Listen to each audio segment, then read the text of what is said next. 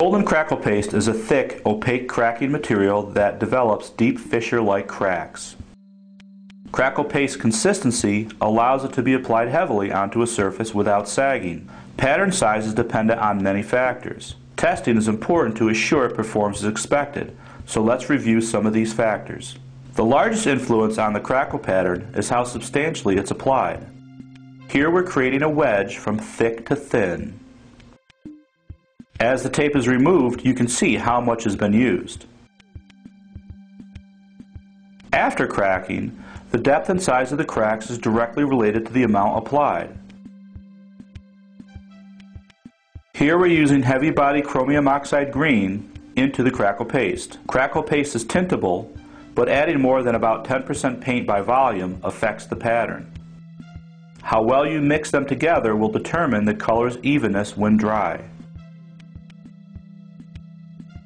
We've applied a layer of coarse pumice gel onto a prime board and allowed it to dry overnight. Next, a generous layer of crackle paste is applied over the coarse pumice gel, taking advantage of the inherent rough texture to secure the crackle paste layer. While the crackle paste is still very wet, paint can be applied and worked into the surface. This one allows the ability to create a painting before the product cracks.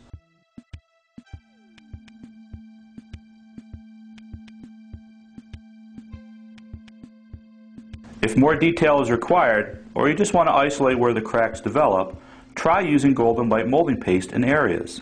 Here, the center is being coated with light molding paste. Next, crackle paste is applied around the light molding paste.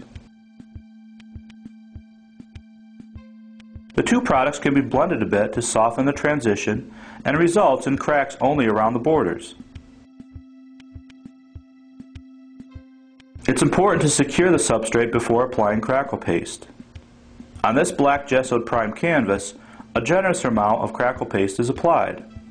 As you can see, the canvas is warped and the crackle pattern is poor. Using a rigid support like this one will give the best results. Applying a coat of medium or gel will increase the adhesion of crackle paste.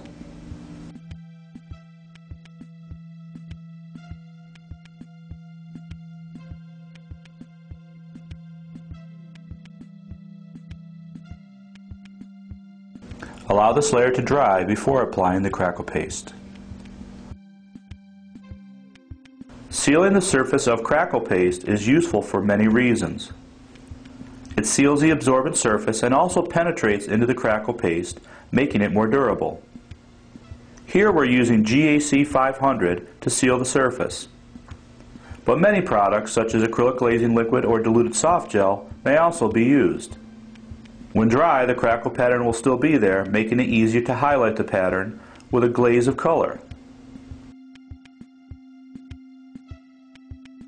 Here we are brushing out a layer of golden ivory black glaze, and then wiping it off immediately.